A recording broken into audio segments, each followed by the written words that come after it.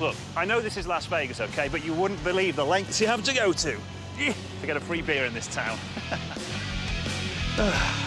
Hi. Oh my God.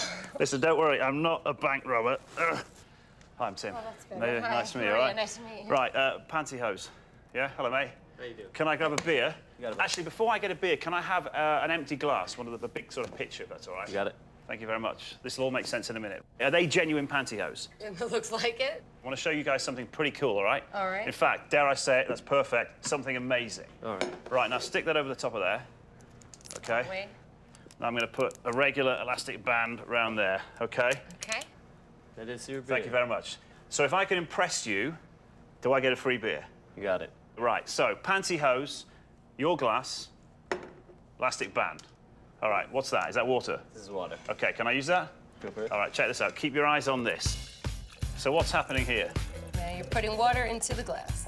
So let's have a look at the level. We can see the level is there, okay? All the way. And that's pretty tight. So what I want to know is what's going to happen when I turn that thing upside down, okay? So I'm going to hold it with one hand, put my hand on here, turn it upside down, but then I'm going to remove my hand. Uh, What's going to happen? The water's gonna come through the pantyhose. And you're going to get wet. Oh my gosh, no. I think rubber band and pantyhose will come come loose So it'll take everything with it. with it. It'll go through the pantyhose. Any more for any more? yes. I think the majority will fall out. Maybe like an inch of water will be left. So, are any of their guesses correct? Or is it none of the above? Do you want to find out? Um, I guess. I guess. In three.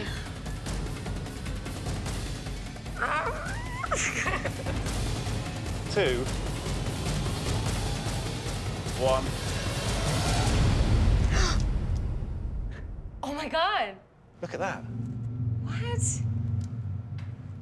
Can I touch it? Yeah, you can touch it. I, seriously, Yeah, I you can touch it. How cool Oh is my it? Is that cool? Impressive. So the answer was in fact none of the above. The water stayed in the glass. You saw me fill it up, Yeah, that's so you know that this isn't watertight, right. yet it's holding in almost a pint of water. Why is it doing that? I have no idea. Okay. No idea. Water, believe it or not, is really sticky. It always is pulling in on itself, okay? But it sticks to itself and creates something called surface tension, like a membrane, like a skin around the outside.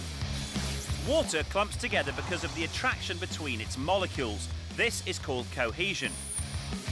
The holes in the nylon mesh are so small that this watery membrane remains intact, stopping the water from just pouring out. What happens if you take that off? Okay, well, you can find out if you want. Take it off and let's see. I know. Oh my God! I can't believe you oh my God.